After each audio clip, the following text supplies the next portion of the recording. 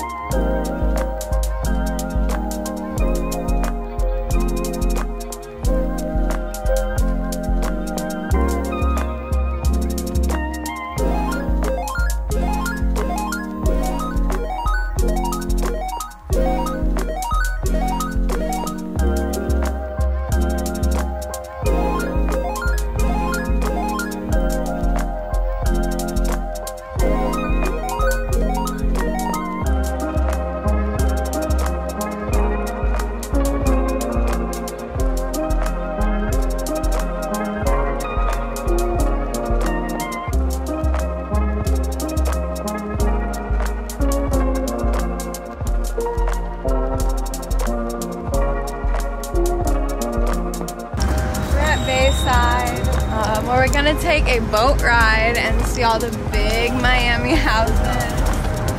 Yeah.